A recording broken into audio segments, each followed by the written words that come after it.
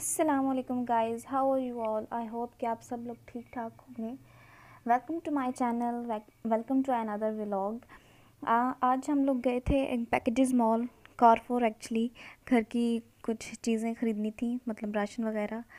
तो सोचा आपके साथ मैं शेयर करूँ वीडियो बनाऊँ। तो ये जी पार्किंग एरिया है पैकेजेस मॉल का, यहाँ पहले पार्क करने की जगह नहीं मिलती होती थी गाड़ी, लेकिन अब आप लोग देख रहे हैं कि बिल्कुल पार्किंग एरिया खाली पड़ा हुआ है, लोग दिखाई नहीं दे रहे। बिल्कुल भी इस कोरोना वायरस की वजह से अल्लाह इससे हमें, हम सबको अल्लाह इससे बचाए। गेट नंबर टू से हम लोग एंटर हुए और एंट्रेंस पे बाकायदा स्क्रीनिंग हुई, हर एक की।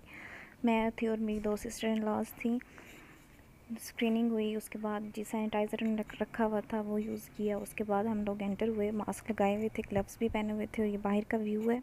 कारपुर जाने से पहले हम लोगों ने जब देखा कि शॉप्स तकरीबन सारी ही खाली पड़ी थी, लोग बिल्कुल भी नहीं थे शॉपिंग वगैरह के लिए ख़वातीन भी नहीं थी और बच्चे तो वो चौदह साल से कम लोग, बच्चों की तो एंट्रेंस थी ही नहीं। उसके बाद जब हमने देखा कि बिल्कुल ही खाली है तो हमने कहा, चले ब्रांड्स हैं तो एक दो चक्कर लगा लें, क्या पता हमें कुछ अच्छा लग जाए। इतने दिनों से, महीनों से बल्कि शॉपिंग नहीं की थी।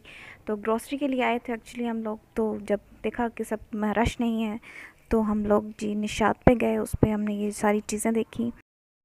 पूरी शॉप में जी मुझे ये वाला आर्टिकल बहुत ज़्यादा पसंद आया था। ये वाइट कलर में, आजकल वाइट मेरा फेवरेट बना हुआ है।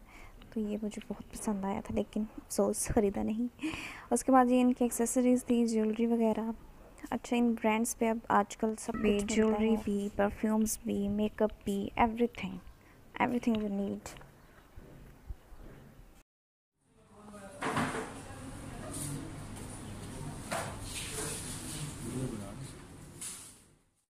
can you guys see the sadness everywhere मतलब कि वो वाली रौनक थी ही नहीं। ये वो वाला पैकेजेस मॉल लग ही नहीं रहा था जिसमें हम लोग पहले विज़िट करते होते थे।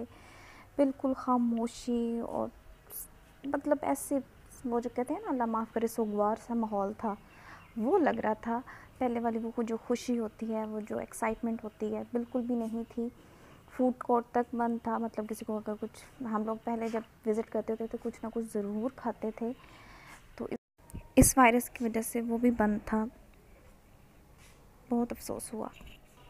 सो कुमार विज़िट करने के बाद बाहर एक टॉयज़ वाला छोटा सा स्टॉल था। मैंने अपने बेटे के लिए एक डक ली। इंजॉय करता है ऐसी चीज़ें। उसके बाद जी, ये बाकी सारा व्यू है। स्वीट टच लंदन एंड उसके बाद हमने गुल अहमद विज़िट किया। अच्छा गुल अहमद का सेटअप टोटली चेंज था। मतलब पहले जब हम जाते थे तो ऐसे मैसी सा लगता होता था, लेकिन इस दफ़ा इनका सेटअप चेंज है। मतलब ऑर्गेनाइज्ड है सारी चीज़ें।